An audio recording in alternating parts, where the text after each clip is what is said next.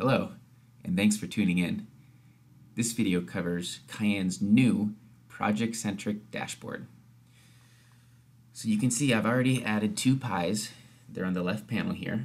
One is named Scheduling Pi, and the other is Lights Pi. Right now, we're viewing the dashboard for Lights Pi. And here's the dashboard for Scheduling Pi. Now, let's create a project. I'm going to click this plus icon here pick a name for my project, first project, and I'll add it. So when you first add a project, the dashboard is going to be blank because you'll need to drag devices to create your custom dashboard. So what I can do is I can navigate to the left panel and I can choose any widget from Scheduling Pi or any widget from Lights Pi. So I'll create my custom dashboard right now.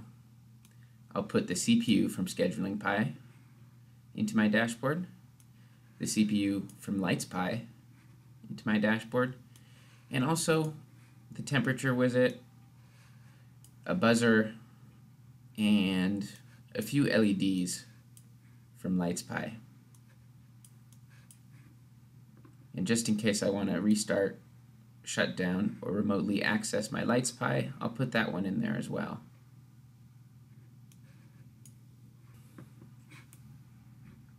You can add another project, and we'll call this one second project,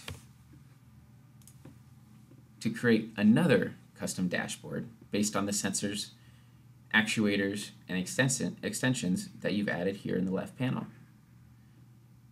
Don't forget about our Submit project button. We'd love to hear what you're making with Cayenne.